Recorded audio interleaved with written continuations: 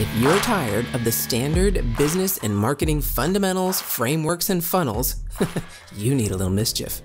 Get ready to turn up the volume on the CEO Mischief Maker podcast, where you access conversations with seasoned business owners who have smashed through mindset barriers, innovated the standard boring business and marketing playbooks, and executed future paced strategies with bleeding edge tools and tactics to micro fail their way into massive success and growth. We are Mindset Impact Strategic Catalysts helping innovative entrepreneurs focus. We are CEO Mischief Makers. Ready to make a little mischief?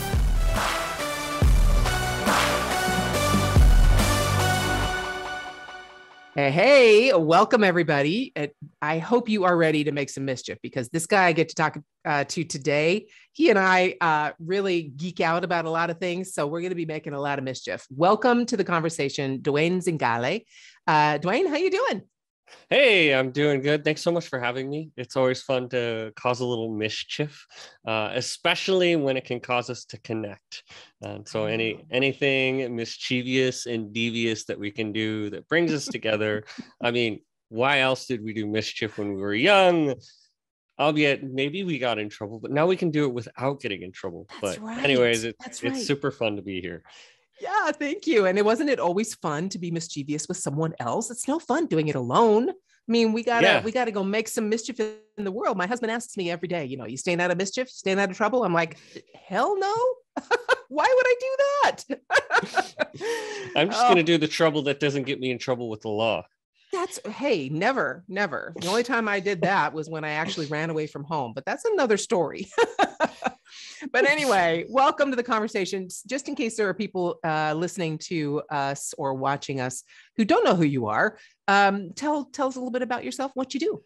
Yeah, absolutely. So Duane Zingale, uh, first and foremost, I love being a husband and a dad. I don't know, call me mischievous, but I run a digi- digital marketing consultancy to help people really lay out a marketing narrative and then build a funnel around that. And I call it marketing your movement. Uh, and I really consult people who see themselves as leaders who want to get out there and communicate a message a narrative that leads people in a direction of impact uh, and transforming society. And I believe marketing is the beginning of that communication. Uh, and alongside of that, I get to champion my wife leading her own movement. Um, and so I may be a main character in a series of children's books. Okay. Let's face it, my my daughter is the main character, but Yes. my ego is big enough to try and insert myself in there. So, yeah, that's a little bit of my world. I don't know how to pick one thing, so I have a handful.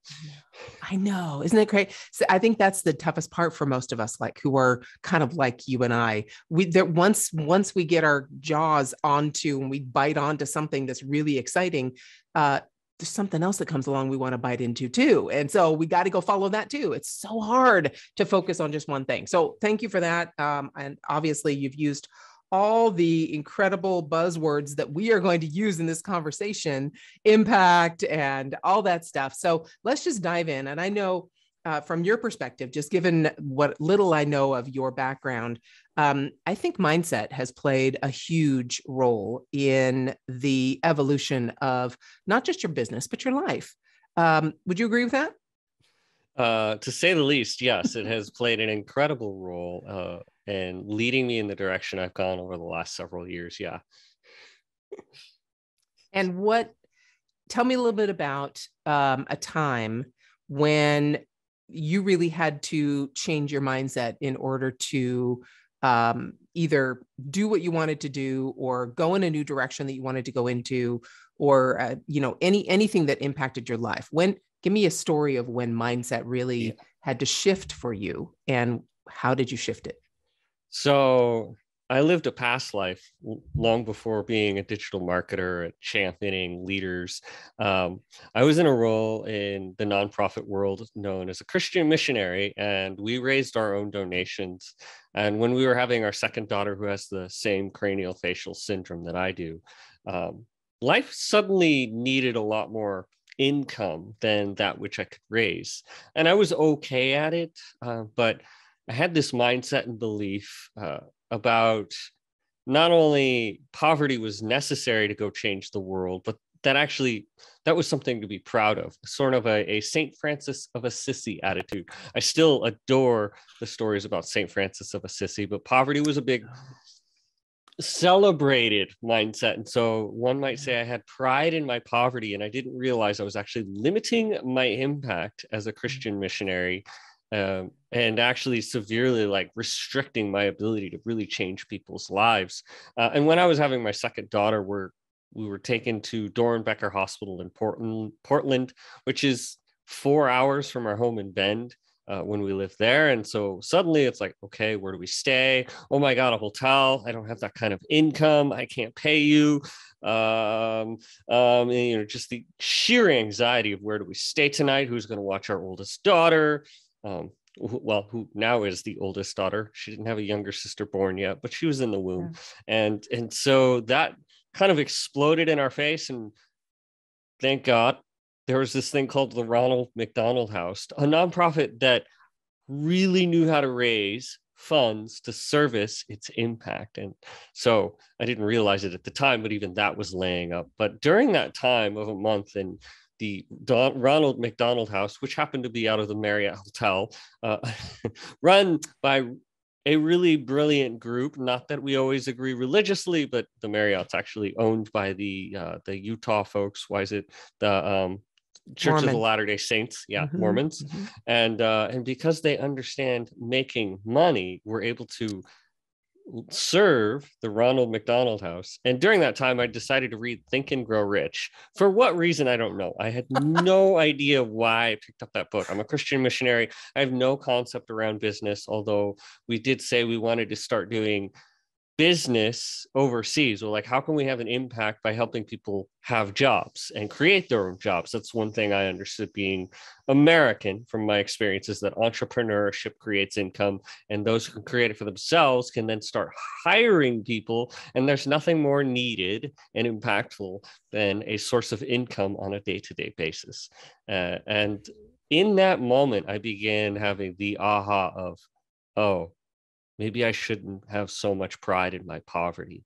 And as my daughter was born and a week in the NICU, that kind of like began bubbling up more and more and more. And by the time they let us go home and said, Hey, here's your daughter, and you're like, Oh crap, what kind of things do we need to be able to afford for these special needs, such as cleft palate, uh, later to become hearing aids? These, these bone mm-hmm. anchored hearing aids are not cheap and affordable. And you know, thank goodness, uh, you know, the medical system of Oregon was really good. And so we didn't necessarily have to go without hearing aids, but uh, I'm never one to pride myself on needing the government, uh, especially mm-hmm. long term. And so that really brought a punch in the face. And then I began this journey of interviewing about 50 managers, business owners, anybody in a decision making level who did anything in the business world, just going, Who are you? What do you do? What are your biggest problems? And is there a problem I could help solve? Just I didn't know that was a smart thing to do in terms of being a contractor or a freelancer. It was just some suggested things to do by a really good friend of mine as stuff hit my fan. And I ended up meeting a fellow who ran an e-commerce store serving uh, fire station search and rescue teams with their equipment through right, selling ropes and pulleys and all these cool things and being a climber i was fascinated uh, and then i you know you begin having the business conversations you're like oh this is why Napoleon Hill was talking about money this way. Oh, this you know, started connecting the dots, and and that's the layup into discovering people needed marketing help. And for some reason, I was actually good at that. But yeah, shifting from like money is impact and realizing how much impact my first client was able to have as he increased his top line and bottom line, his impact was able to grow. And just be, whether he's able to sell more, right? The more he can sell, the more people are getting rescued, the more people can have fun and take these risks, and the more firefighters we can put out on the field. Uh, and so it's just kind of this cascading effect of people making income being a, a beautiful thing. So that was by far the biggest mindset mindset shift. I'll try not to curse about this uh, in my life. Um, so I, I love when you talk about this because you're you're talking about poverty to purpose or poverty to profit and lots of these other i love alliteration obviously. I, the words are just amazing for me. But uh, that shift from having that pride in poverty and shifting to wait a minute if i want to make an impact in the world i need money to do it. And i want to take care of my family and i need money to do that. And I can help other people shift their mindsets around their impact as well. So I mean it, it all it all starts with that, right? Indeed. Yeah, it really does. And and to to kind of lay it up, uh, you know, we'll probably get to it in a, a further episode. But one of the pieces of my framework is E for empower. And it shifts the whole narrative. And this was the shift I had when I started, actually, when I first bought my first course from Ray Edwards. Um, and I think Mike, Mike came a few people, right? Your first courses, you start dabbling into this world and you discover, oh, this is so much more powerful than a college education. And I realized because I gave my hard earned and you better believe how hard earned this was at this point $2,000 still shocks me that we can charge this much for just training material. Um, but that really got me to take some actions. And I turned that $2,000 into a lot more than $2,000 for a client. And that really honed in like this is empowering. And, and the reason, even going back into that being empowering, is I used to go to Nepal with friends of mine and we had a whole leadership development program. And we would go and say hey come and we'd recruit and we'd have 30 people show up the first day. And we'd have this incredible time and everybody's like wow i learned so much. Can't wait to see you tomorrow. What happens tomorrow? A whole new group of 20 30 people. You're like oh great and then there's like five from yesterday maybe 10 and we're like well we got to start at the beginning well guess who didn't come the, the third day all the other people who heard the first teaching again, they're like, it's just going to be the first teaching again. And it's a whole new group with some from the first day on the third day. And that just continued for five, six days. And we realized we couldn't get past day one. And so we decided to charge $10. Now, $10 in Nepal is a lot more than just $10. So let's put it at that. These people decided to pay $10 and hike miles across the Himalayas, right? This is no yeah. easy to hike terrain in the middle of nowhere. This isn't Kathmandu, you know, we're outside of Pokhara. And interesting thing happened. They all came to the first day, and because they gave ten dollars, they also came the second day, and the third day, and the fourth day, and the fifth day, and they got the whole five day leadership training, in which we could, of course, say, "Hey, we're going to come back in several months. Would you like to make sure you're signed up to get notified when we come?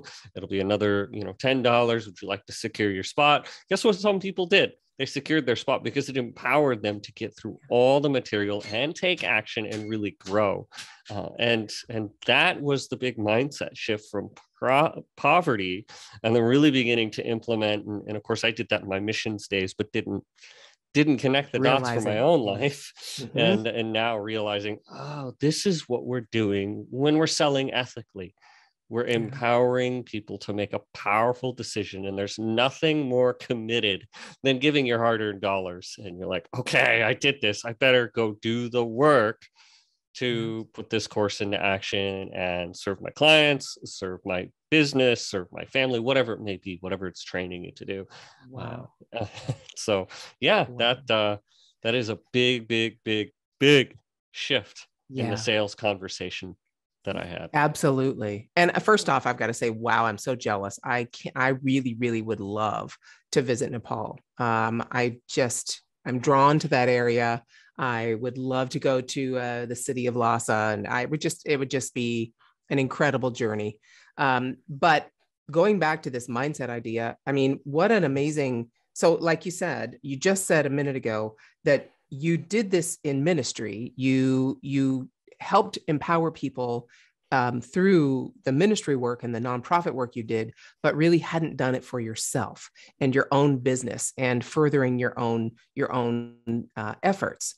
What what did it take to really get over that whole poverty idea, or and and not just the poverty idea, but what did it take to switch from you understand what to do for someone else, but then to be able to put that that mirror up to your face and point those fingers back to yourself and see what you need to change. Um, and you also mentioned it's just a course. Oh my gosh that course changed your life. That course changed that leadership course in kathmandu changed the lives of all those people. A course is one of the most powerful things if we if we participate right? Like you like you talked about. Exactly. so all right i asked you a lot of different things in that one question but let's focus on just the the thought of being able to do this for someone else and then being able to turn that to yourself. What what shift needed to happen for you to do that? So it's far from one shift. Um, yeah. it's been a series of shifts and i'm still shifting um, up until that last. And, and so so to put that right we're even dabbling in oh i'm still shifting my mind because i myself have yet to create a course. Now part of that is creative energy but part of it is how much are you willing to pay yourself to hang out with you?